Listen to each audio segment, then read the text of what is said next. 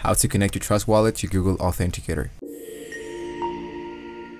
Hello guys, welcome into this new video. In today's tutorial, let's see if we can uh, connect our Google Authenticator into our Trust Wallet.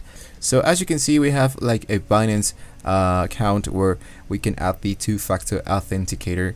Uh, but actually speaking about a specific wallet, at the moment, there's no easy way that we can uh, add this. So I'm going to go into my Trust Wallet, I'm going to go into settings and there's no option so we can add the two-factor authenticator in Trust Wallet.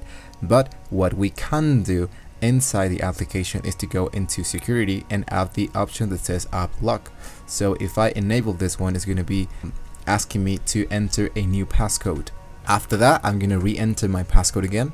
And then it's going to says, uh, when do you want to get the auto lock? If you want to do that immediately, uh, if away from one minute or for five minutes or let's go and select let's, let's say on, on five minutes. I'm gonna go back.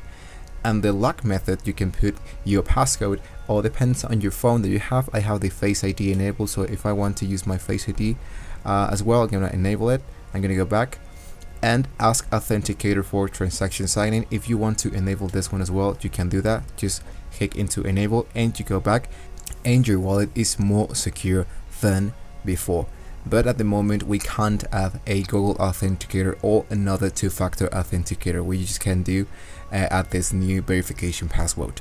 So there you have it guys. Hopefully this was very useful for you. Don't forget to like and subscribe to the channel if you want to see more about Trust Wallet.